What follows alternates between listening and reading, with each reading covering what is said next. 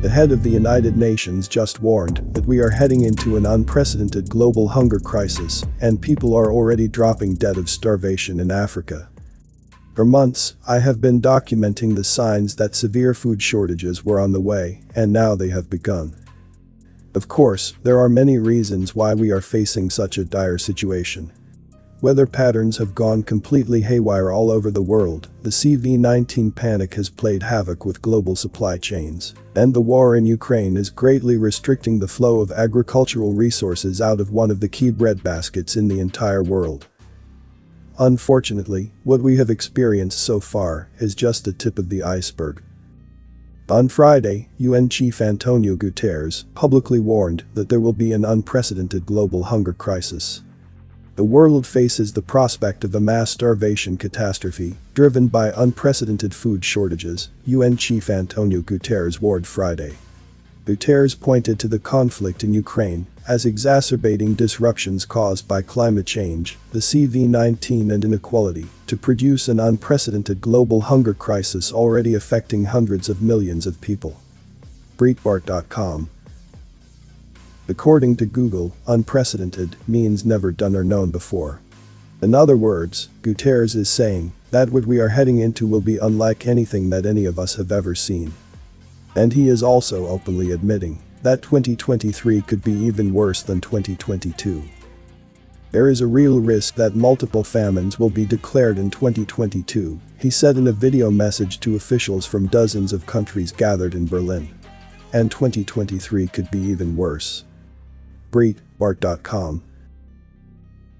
Actually, I think that it is safe to say that 2023 will definitely be worse than 2022 based on the information that we currently have. Before I continue the video, please give a like if you'd learned something. And don't forget to subscribe and also click the notification bell too so you won't miss any update. And watch to the end to avoid misunderstanding. Thank you. Of course, things have already gotten really bad in some parts of the world.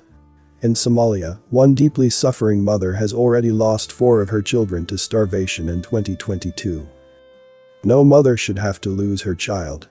Elio Hassan Salad has watched four die this year. A drought in the Horn of Africa has taken them, one by one. Now she cradles her frail and squalling three-year-old, Ali Osman, whom she carried on a 90-kilometer or 55-mile walk from her village to Somalia's capital, desperate not to lose him too. Sitting on the floor of a malnutrition treatment center filled with anxious mothers, she can barely speak about the small bodies buried back home in soil too dry for planting. abcnews.go.com That is one of the saddest things that I have read in a very long time. If reading that doesn't make you incredibly sad, you should check to see if you still have a heart. What is even more tragic is that countless others will soon starve to death in Somalia, and conditions have also greatly deteriorated in Ethiopia and Kenya. More than 200,000 people in Somalia face catastrophic hunger and starvation, a drastic increase from the 81,000 forecast in April, a joint statement by UN agencies said Monday, noting that a humanitarian response plan for this year is just 18% funded. Somalia isn't alone. In Ethiopia's drought-affected regions, the number of children treated for the most severe malnutrition, a tip of the crisis, jumped 27% in the first quarter of this year compared to last year, according to UNICEF. The increase was 71% in Kenya, where Doctors Without Borders reported at least 11 deaths in a single county's malnutrition treatment program earlier this year. abcnews.go.com I have always warned that it would be the poorest parts of the world that would be hit the hardest. But as the food shortages intensify, Western nations will feel the pain as well. The biggest problem is all the food that is not going to be grown this year. Many fertilizer prices have approximately tripled from a year ago, and that is going to dramatically impact agricultural production all over the world. Over the coming months, a major challenge will be access to fertilizers, which may impact food production across many crops in different regions. Fertilizer prices surged in March, up nearly 20% since January 2022, and almost three times higher compared to a year ago. Russia and Belarus are major fertilizer exporters, accounting for 38% of potassic fertilizers, 17% of compound fertilizers, and 15% of nitrogenous fertilizers. WorldBank.org Here in the United States, many farmers have gone ahead with normal planting despite the high fertilizer prices, but now extreme drought is ruining crops all over the western half of the nation. For example, just check out what is happening in Kansas. The following comes from NPR. Elizabeth Rembert, byline. Usually Kansas is known for its fields of waist-high golden wheat. But this year, the blistering conditions have withered some of the crop into short patchy straw. Standing in one of his fields in northwest Kansas, Chris Tanner wonders if it'll even make it through harvest. Chris Tanner, I mean, like, this head down here, there's going to be nothing in it. It'll blow out the back of the combine. You can see the seeds kind of exposed there. It'll shatter out even before we get here. Rembert.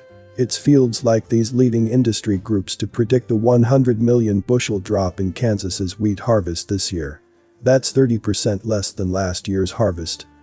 NPR.org and as I discussed last week, conditions are even worse in Colorado and Texas. So, buckle up and hold on tight, because things will soon start getting really crazy.